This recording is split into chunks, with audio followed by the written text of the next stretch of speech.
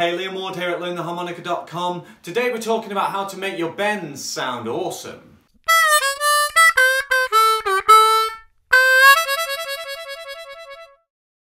So I'm really keen today to tell you about two different ways of using bends. The first one tends to come more naturally at first, I think, and then the second one is a little bit more work, but I think is far more important, and that's the one I really want to kind of get you started with today. So the first one that tends to come for people is using bends in an, an inflective way, almost as an extra texture to a normal note. So for example, you might take the four draw on a C harmonica, and if you learn to bend it, it might be that, say in a lick you'd normally play, you do that. Or you kind of bend in and out of the note. So it's not a new separate thing, it's just adding to that four draw that you'd normally play. Normal. With some bend kind of uh, texture added. That tends to come more naturally and that tends to be something I hear a lot of players who are just starting to bend and they're using the bends like that. But I also hear experienced players who only use their bends like that.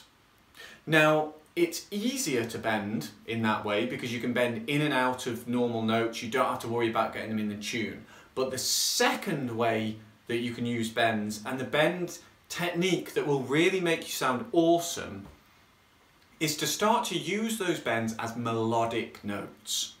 So what's the difference? Well, an inflective or textural bend is added at the start or the end of a normal note just to kind of give it something extra. But a melodic bend is where you understand the pitch, the exact note that a bend can give you, and put that in as part of your melody.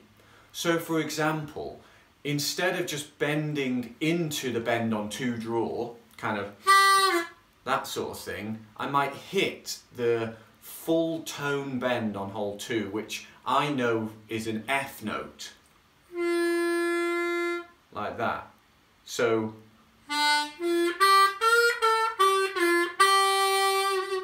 so I've used the, a bend on hole two, I've also used two different bends on hole three. There's a very big difference between that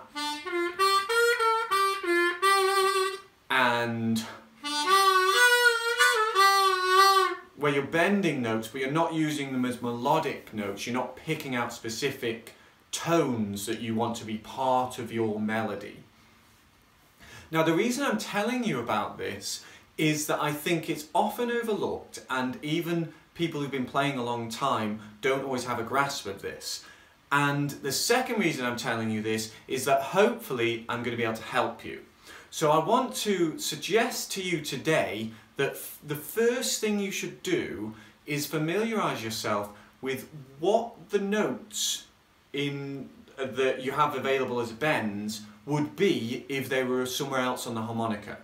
So I mentioned that the two draw full step bend, full tone bend is an F note on a C harmonica.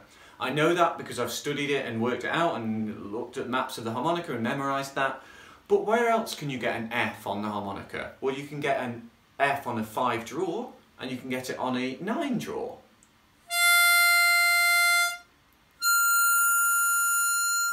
Okay, so you get, if you've got the bend on hole 2, you've got three Fs on, on the harmonica.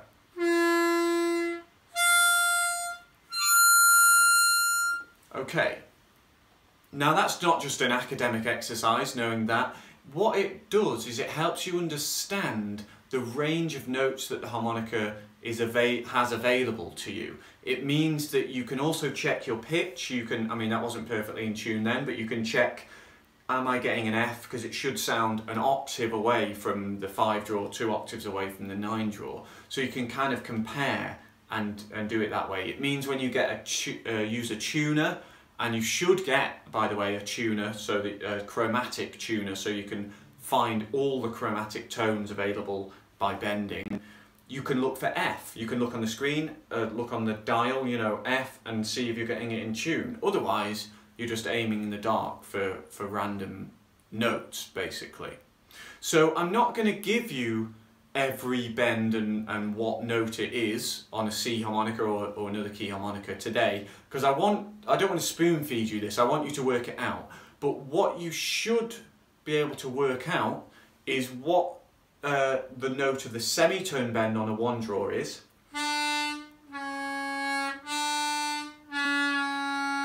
What that semitone is and then hole two gives you two semitones of bends two half steps. That's the natural note so you've got two bends. And then th hole three has three. That's the natural note.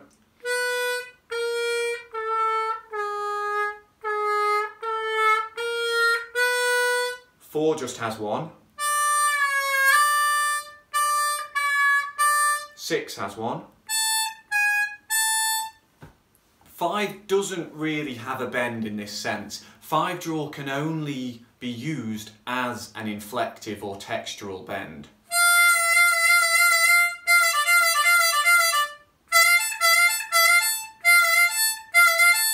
You can make it move, but you'll only ever get a flattened kind of version of the five draw, the F. You won't get down to an E because the five blow is an E and you can only bend between the blow and the drawy pitch. You can't bend further than the the, the lower one.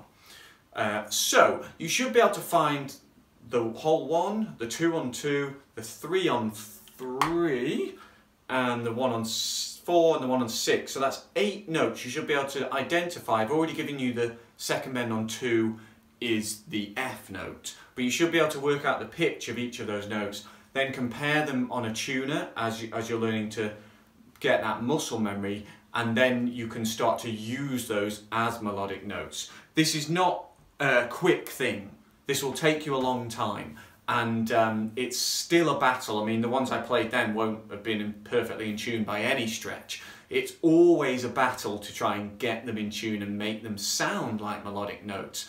And it's easier in the context of a blues song, for example, where the roughness of the note might not be as such a problem than playing a ballad where you play something, you know, playing a really nice slow song and then trying to put that note in as a melodic note. But it's a great skill to have. It opens up the whole range of the instrument. And if you do this with draw bends and blow bends, and then if you get into over, over bends as well, the whole instrument becomes chromatic, basically. You've got all of the notes that you, that you might want available to you.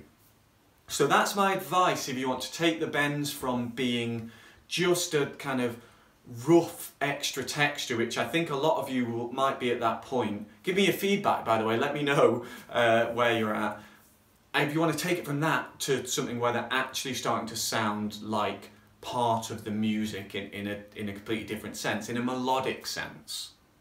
I've put together some practice exercises for using the bends as melodic notes. And if you'd like to get that, it's available as a premium lesson. So there's a link beneath this video that I put together 10 practice exercises. It uses all of the different draw bends, so you're gonna get a really good workout on all of those different notes that you're trying to identify and uh, you can get that via the link. If you're enjoying my premium lessons, then consider becoming a member of my website. For $19.99 a month, you can get access to all of my premium lessons and tabs. And if you sign up today for a yearly membership, you get two months absolutely free. So do check out the link to that beneath the video as well.